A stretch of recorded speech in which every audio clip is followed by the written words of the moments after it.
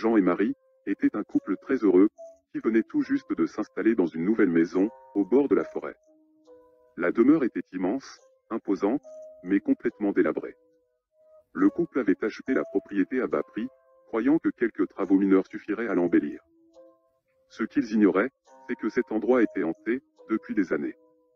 Pendant les premiers jours, tout semblait normal, le couple commença les travaux, dans leur nouvelle demeure. Mais quelques semaines plus tard, des bruits étranges ont commencé à se faire entendre, dans chaque recoin de la maison. Des portes se claquèrent brusquement, des étagères s'effondrèrent sans raison, des objets disparaissaient inexplicablement. Jean essayait de rassurer Marie comme il le pouvait, en lui disant que tout cela n'était que leur imagination, mais elle était certaine qu'il y avait une présence inexplicable, qui se cachait dans leur maison. Un soir, Marie se réveilla en sursaut, et constata que Jean ne se trouvait pas dans la chambre. Elle se rendit alors au salon, pensant que son mari s'était installé devant la télévision, mais elle vit une lumière étrange qui clignotait dans le jardin. Paniquée, elle parcourut le chemin jusqu'au jardin à toute vitesse, et trouva Jean enveloppé dans une sorte de nuage, flottant en l'air. Elle jura avoir vu une forme monstrueuse, rôdant tout juste au-dessus de lui. Jean avait survécu à l'incident, mais il avait été marqué à jamais, par cette attaque invisible. Peu de temps après, Marie commença à souffrir de cauchemars étranges, et à entendre des voix inquiétantes dans sa tête. Elle avait le sentiment que quelque chose la regardait constamment, ce qui la poussait à se barricader dans chaque pièce de la maison, où elle se rendait. Chaque nuit, les bruits s'intensifiaient. Un grattement métallique se fit entendre sur les murs de la maison, même si le couple n'avait aucune idée de l'origine du bruit. Les meubles ont commencé à s'animer, certains objets disparaissaient, puis réapparaissaient ailleurs. Jean, toujours traumatisé par sa rencontre avec un être inconnu, décida de faire chambre séparée, et commença à éviter Marie, par crainte de se refaire attaquer. Il se mua en quelque sorte en un étranger, sombre et renfermé. Marie ne trouva de répit ni en lui, ni dans la maison, qui la hantait toujours. Sa paranoïa, et les voix dans sa tête grandissaient, chaque jour qui passait, elle avait l'impression de devenir folle. Finalement, un jour, lorsqu'elle était seule à la maison, elle entendit un bruit étrange venant du sous-sol. Elle descenda pour enquêter, mais ne trouva rien d'anormal. Cependant, une fois revenue à l'étage, elle commença à ressentir une sensation étrange dans la maison. Soudain, une porte s'ouvrit brusquement, et une ombre massive apparut, dans le cadre de la porte du salon. Marie essaya de fuir, mais ce fut en vain. L'ombre surgit et s'abattit sur elle. Lorsqu'elle se réveilla, elle se trouvait attachée sur un lit d'hôpital.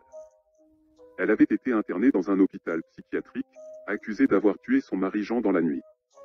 Les policiers lui expliqua qu'on l'avait retrouvée inconsciente, hache à la main, avec Jean juste à côté d'elle, le corps rempli de sang.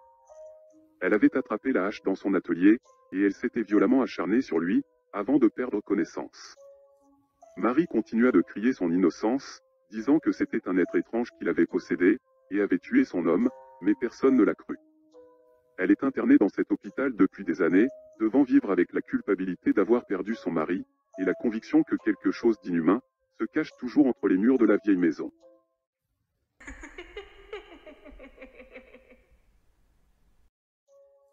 Il y a quelques mois, une équipe de journalistes a été envoyée, pour enquêter sur une ville abandonnée dans le désert, où il y avait eu une grave catastrophe environnementale. La ville était connue sous le nom de Ville de l'Ouest, et il y avait une atmosphère étrange, qui régnait autour de ce lieu. Les rues étaient désertes, les maisons étaient abandonnées, et les magasins étaient fermés depuis des années. Lorsqu'ils sont entrés dans la ville, les journalistes ont immédiatement été frappés par le manque de vie. Les rues n'étaient parcourues que par des débris et des bouts de tôle qui pendaient d'une manière sinistre. Les bâtiments semblaient dangereux et branlants, comme s'ils allaient s'effondrer à tout moment. Les journalistes ont commencé leur enquête en interrogeant les anciens habitants de la ville. Ils ont appris que la ville était autrefois une communauté minuscule, qui vivait de l'extraction de minéraux dans le sol. Cependant, un terrible accident s'était produit dans la mine, et la communauté avait dû être évacuée. Les journalistes ont également appris que depuis l'évacuation, personne n'avait osé entrer dans la ville, car il y avait des rumeurs de phénomènes paranormaux et de fantômes qui y étaient associés. Dans leur exploration de la ville, les journalistes ont en effet commencé à entendre des choses étranges, des bruits de pas sans présence humaine, des voix qui murmuraient dans le vent, et des ombres qui bougeaient sans raison apparente. Tout semblait être resté en l'état, depuis l'époque où la catastrophe s'était produite. Des voitures étaient abandonnées au milieu de la route, des portes étaient restées ouvertes, et des objets personnels étaient éparpillés un peu partout dans les rues. Les journalistes ont commencé à explorer la ville, à la recherche de preuves sur la catastrophe écologique, qui avait conduit à l'abandon de la ville. Au bout de plusieurs jours de recherche, les journalistes ont découvert quelque chose d'étrange. Ils ont trouvé des messages sur les murs des bâtiments, et des graffitis, qui semblaient être des messages de mort. De plus, ils ont aussi découvert des écriteaux d'avertissement, qui mettaient en garde les gens, contre l'entrée dans la ville. C'est alors que les journalistes ont commencé à comprendre, qu'il y avait quelque chose qui n'allait pas, dans cette ville abandonnée. Ils ont commencé à se sentir observés, et ont commencé à avoir le sentiment d'être poursuivis. Au fil de leur enquête, un membre du groupe de journalistes, Maria, a commencé à se comporter de manière étrange. Elle passait de moins en moins de temps avec le reste du groupe, et s'enfonçait toujours plus, dans les quartiers les plus sombres de la ville. Elle semblait fascinée par les bâtiments abandonnés, et les objets laissés à l'abandon depuis des années, comme hypnotisée par les fantômes du passé. Un soir, Maria est partie seule, pour explorer les alentours de la ville. Le reste du groupe a essayé de la suivre, ils étaient inquiets pour elle, mais elle était déjà trop loin. Ils ont entendu un cri perçant, et ont couru à sa recherche.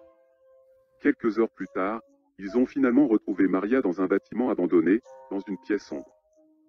Elle était assise sur le sol, immobile, regardant fixement un mur poussiéreux. Il y avait quelque chose de surnaturel, dans la manière dont elle avait l'air. Ses yeux étaient vitreux, et elle ne répondait pas aux appels de ses amis.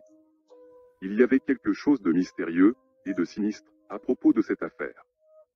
Soudain, Maria a semblé se réveiller de sa transe. Elle était complètement désorientée, et elle a crié de terreur. Elle hurlait qu'elle avait vu quelque chose, qui n'aurait jamais dû être vu, et que cette chose la suivait, depuis qu'elle avait commencé à explorer la ville. Le groupe a essayé de la consoler comme il le pouvait, mais elle était terrifiée, et disait que quelque chose allait la tuer. Le groupe a immédiatement décidé de quitter la ville, emportant avec eux Maria, qui était encore en état de choc, à cause de ce fantôme, qui venait de s'en prendre à elle.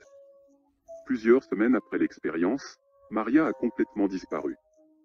Sa famille, et ses amis sont partis à sa recherche, mais elle n'a plus jamais été revue.